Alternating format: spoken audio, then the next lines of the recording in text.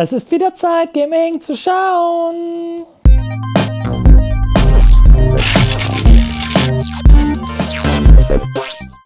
Tag Leute, willkommen zu Gaming. Schön, dass ihr eingeschaltet habt. Heute kümmern wir uns um die Darksiders 2 Definitive Edition. Für die PS4 habe ich das hier schon mal und starten auch gleich mal ins Spiel. Und ich sage deswegen Start.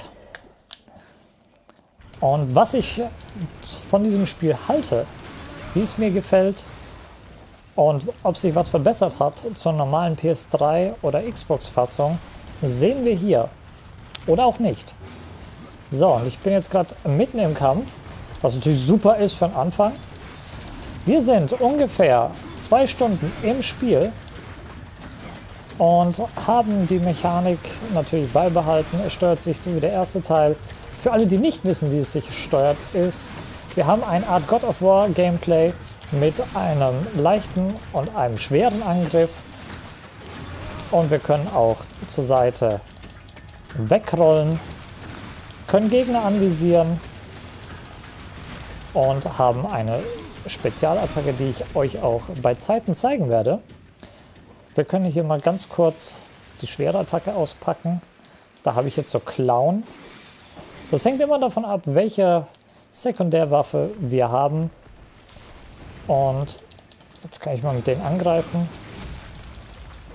Zack, ich nehme natürlich immer die beste Waffe mit, die ich gerade finde. Wir finden einige Waffen, ähm, wie in Diablo, die auch Elementarschaden machen können. Und haben verschiedene Geschwindigkeiten zu den Waffen. Also so ein schwerer Hammer lässt sich natürlich bei weitem nicht so schnell führen wie solche Boxhandschuhe da. Tja, schlechtere Waffen nehme ich dennoch mit, denn die kann ich später verscherbeln. Und hier sehen wir gerade schon das erste Problem. Der Kollege ist zwar super am Klettern, aber er kann nur 10 cm weit springen. Das finde ich nämlich nie so geil. Und sowas finde ich auch wahnsinnig unschön. Ich komme hier nicht rüber. Es könnte natürlich sein, dass es daran liegt, dass ich noch kein Day One Update habe. Weil das Spiel ja noch zu jetzigen Aufnahmezeitpunkt gar nicht erschienen ist. An diesem Freitag, wo ihr das vielleicht seht. Und ich habe dieses Spiel schon auf der PS3 gespielt, weil ich den Vorgänger sehr mochte wo man noch Krieg gespielt hat. Hier spielen wir ja Toad, der seinen Kollegen Krieg dessen Hals aus der Schlinge ziehen will, sozusagen, weil der ja ähm, im ersten Teil beschuldigt wird, Krieg die Apokalypse zu früh ausgelöst zu haben. Und da sind ein paar Leute ganz schön pisst gewesen. Und wir haben auch Ladezeiten. Das ist auch nicht so geil. Wir haben zum Teil echt random Ladezeiten, Frame-Dropping, aber das kann alles sich noch verbessern. Wie gesagt, wir haben noch kein Day-One-Update, welches ich sagen muss, diesen Trend finde ich nicht gut. Was ich dafür sehr gut finde, ist die Optik. Ich mag dieses leicht comic-mäßige gezeichnete Texturen. Wir können auch hier mal gucken, die sind natürlich nicht so scharf, wie sie sein könnten für ein PS4-Spiel. Es ist wie gesagt ein Remake, es wurde nicht komplett neu gebaut, es wurde nur einmal ähm, gepolished. Und wen haben wir denn hier?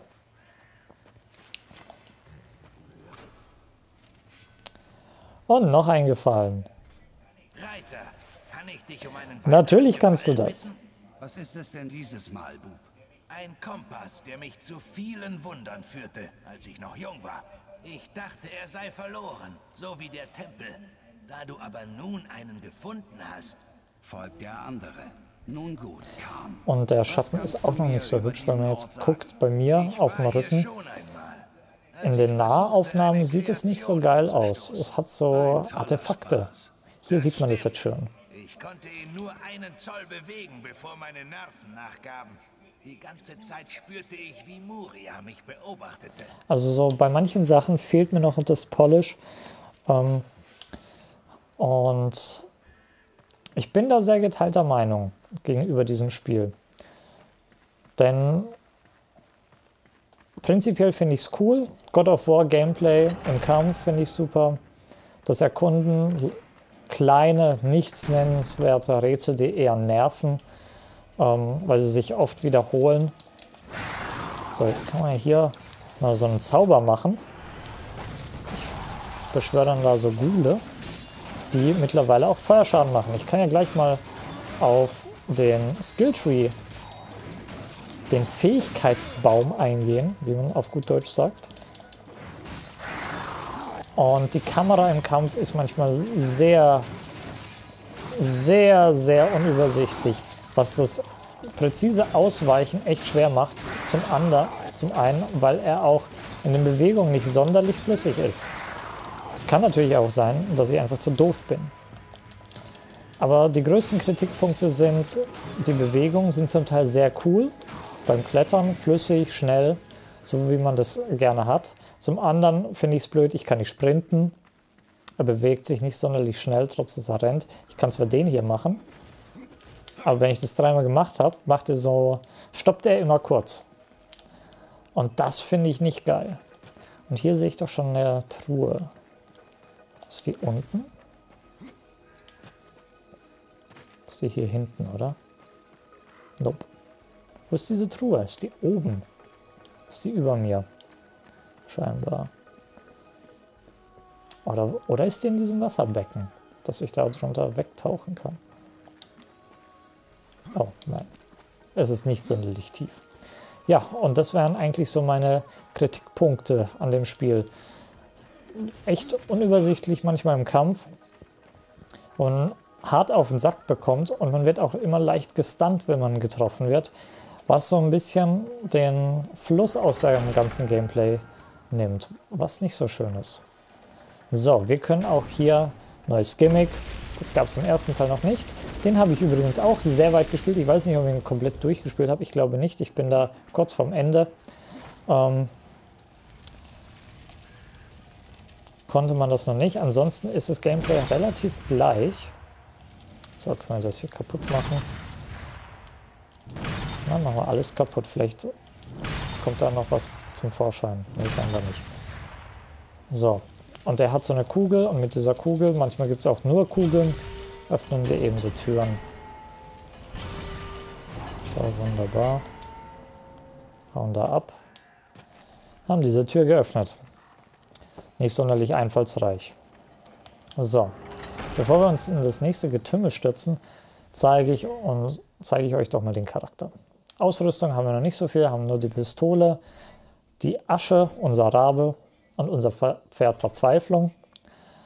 Dann haben wir hier verschiedene Sensen, die wir finden können. Hammer, Rüstung für die Schulter, für die Arme, für die Beine, Talismane etc. pp. Gut, dann haben wir hier unseren Skilltree.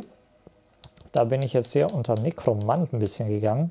Todesbeschwörung. Da kann ich ähm, jetzt eben so Gule machen. Die brennen mittlerweile auch, halt ein bisschen mehr aus und ich bekomme ein paar Zornpunkte zurück. Genau, dann haben wir noch eine Karte, die uns leider nicht viel bringt, denn sie sagt uns nicht, wo wir hin müssen. Was häufig zu unnötigem Rumgerenne führt. Leider.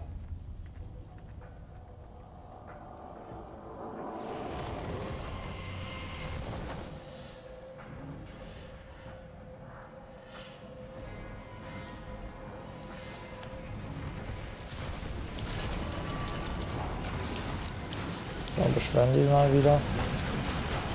Wenn die ordentlich unter dem Gegner beschwört, kann man da auch noch ein bisschen Scha extra Schaden mitmachen, was ganz nice ist. Die Gegner sind, diese Gule sind halt besonders cool, wenn man in einem Bossfight ist, habe ich festgestellt, um die kleinen Gegner abzulenken. Wir können auch hier ballern, aber das Ding macht ja überhaupt keinen Schaden. Hat es aber gelangt. Wir können natürlich auch, wie im ersten Teil schon, in so einen Reaper-Modus schalten, wo wir ein bisschen mehr Schaden machen. Beziehungsweise ordentlich Schaden machen. Und jetzt hoffentlich kommt eine Kletterpassage, die würde ich nämlich auch gern zeigen. Weil damit habe ich leider auch noch so ein bisschen meine Probleme. Das sind Kleinigkeiten und Stellschrauben, die man hoffentlich noch wegkriegt, aber ich befürchte fast nicht. Das sind gute Ansätze, viele Sachen, die man sich halt von woanders bedient hat, wie Prince of Persia, God of War, Zelda ist ein bisschen drin, Diablo mit dem Loot-System. Aber es funktioniert leider alles nicht so, so flüssig, auch wenn es dem vermag. Zum Beispiel kann ich hier eine Sache zeigen. Wenn ich hier hochgehe, er bleibt da noch ein bisschen dran hängen. Das finde ich nicht so geil. So, dafür ist das ganz cool. Zack, da kommen wir nicht wieder zurück. Da sind wieder böse Leute. Und das ist halt blöd, dass die Kamera manchmal sehr nah rangezoomt ist und man halt Gegner von hinten nicht sieht und man da nicht ausweichen kann. Ah. Jetzt bin ich ausgewichen, aber es hat nicht gelangt.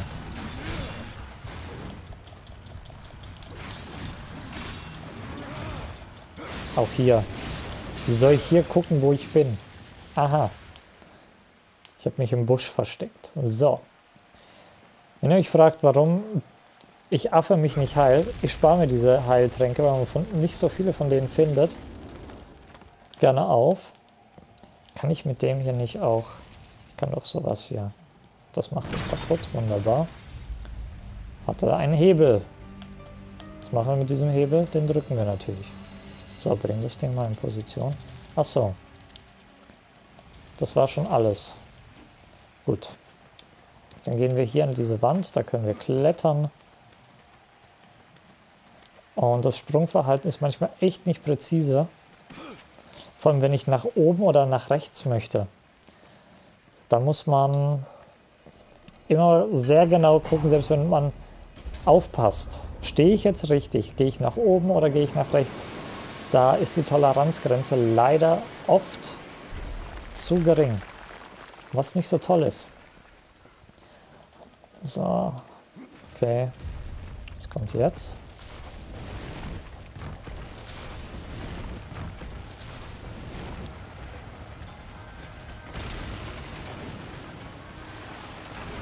Ja, die machen wir doch mit dem hier kaputt.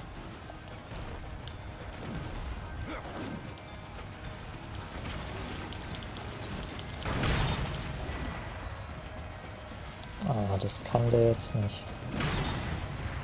Kann der auch normal austeilen?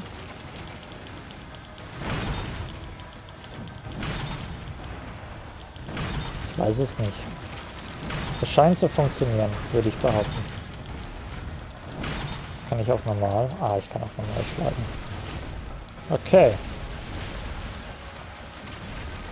Nice. So. Also die Umgebung ist wirklich fabelhaft. Gefällt mir sehr gut. Und es hat schon seine Stimmung, also das will ich dem nicht absprechen. Nur technisch ist es halt leider nicht das Gelbe vom Ei. Und jetzt gucke ich mal, fünf Minuten haben wir noch. Ich werde auch wahrscheinlich einen zweiten Teil zu der ganzen Geschichte machen, denn das Spiel verdient es. Ich kann ja auch mal, während wir hier langsam vor uns hinfahren. Oh, da ist eine Truhe. Eine ganz besondere Truhe sogar. Die nehmen wir natürlich mit. Nämlich in der Definitive Edition kommt ja auch noch etwas Bonus-Content. Ähm, und zwar einiges. Also wir können auch über Start gedrückt halten, können die Sachen gleich ausrüsten, was eine sehr intelligente Neuerung ist und mir auch schon in Diablo 3 sehr gut gefallen hat. Wir bekommen nämlich noch zig Armors dazu und Waffen, die ich jetzt nicht alle vorlese, weil ich die Sachen auch nur zur Hälfte richtig aussprechen werde. Aber die habe ich noch nicht gefunden. Ich weiß nicht, wo es sie gibt. Ob ich die dann kaufen muss in-game oder... Ich dachte eigentlich, ich bekomme die so als Startbonus in anderen Spielen. Dem ist aber nicht so, was aber nicht unbedingt schlecht sein muss, weil häufig ist dann nämlich sowas nicht lange cool, sondern wirklich nur für ein paar Minütchen. Da unten ist noch was Besonderes, das merke ich mir. So, hier, auf die Sachen müssen wir schießen, zack, die explodieren. Und es hat manchmal schon ganz witzige Rätsel. So, wieder Kugel rein. Und das ist leider sehr häufig als Rätsel. Schieb einfach eine Kugel in so eine Mulde. Und das manchmal in der richtigen Reihenfolge. Bin ich jetzt gestorben? Nein.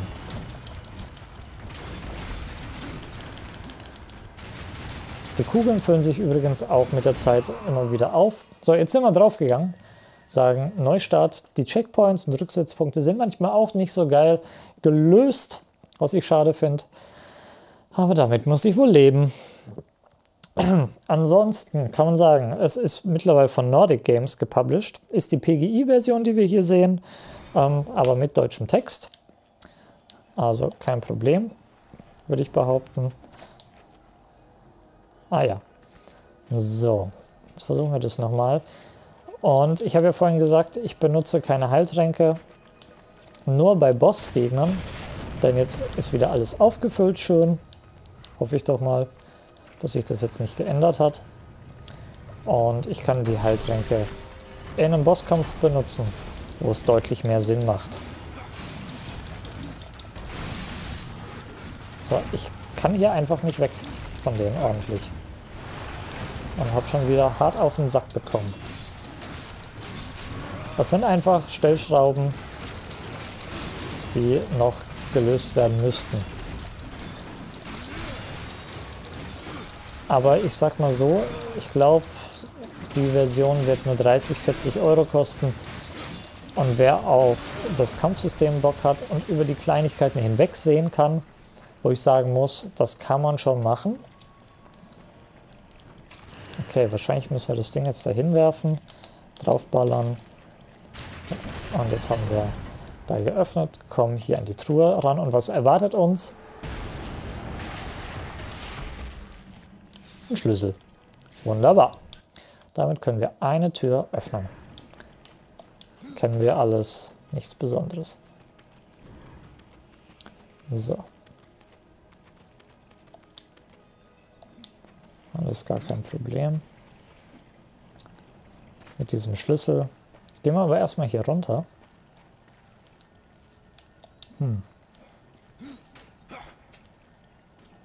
War hier nicht noch was? Doch. Okay. Wie, wie kann ich das hier mir aneignen. Das ist doch was zum Einsammeln, oder nicht? Ich bin da überfragt.